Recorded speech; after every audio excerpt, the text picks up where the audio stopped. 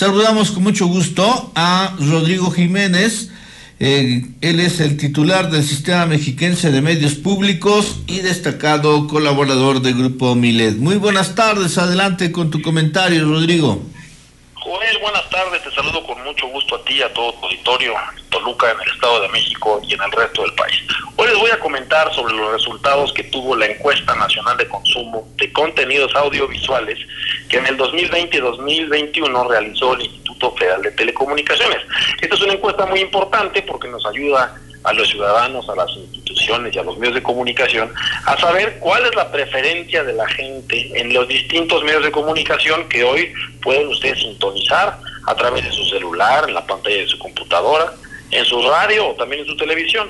Y fíjense qué interesantes resultados. A finales del trimestre, el último trimestre del 2020 y principios del 2021, tras encuestar a más de 8.000 personas, el resultado es que el 75% de los encuestados señalaron ver la televisión abierta, la televisión gratuita que podemos sintonizar ahora en HD de manera digital.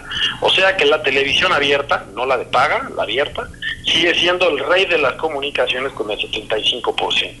El Internet creció tan solo 8%. Creíamos que crecería mucho más en el 2020 y 2021, pero únicamente fue el, el 8%. Y la gente lo que mayormente ve tanto en Internet como en la televisión son noticiarios, películas y contenidos educativos. Y la radio, este medio de comunicación masivo que es el más antiguo de los tres, de la televisión, el internet y después la radio, también creció durante la pandemia en el 2020 y el 2021, creció un 5%, lo cual quiere decir que seguimos los ciudadanos y las ciudadanas teniendo una preferencia importante por la radio, donde nos sintonizan ahorita a ti y a mí, estimado joven.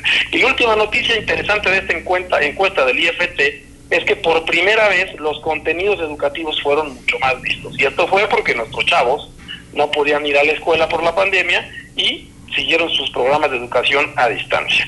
Interesante saber que los medios de comunicación en México van variando año con año, pero que la televisión y la radio siguen siendo los reyes de la comunicación. Ese es mi comentario, Joel. Sí, no, muy interesante y sin duda porque obviamente lo que no cuesta pues está al alcance de la mano, ¿no?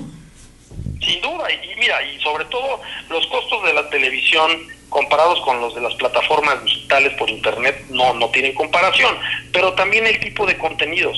Son cosas distintas las que uno puede ver hoy por televisión o por plataformas OTT digitales. Y hoy la gente sigue prefiriendo el 75% la televisión abierta y la radio. Muy bien. Pues muy interesante como siempre todos tus comentarios. Felices fiestas, fuerte abrazo para ti y los tuyos. A ti, Joel, y a todo tu auditorio. Un abrazo a todos y que sea un gran año.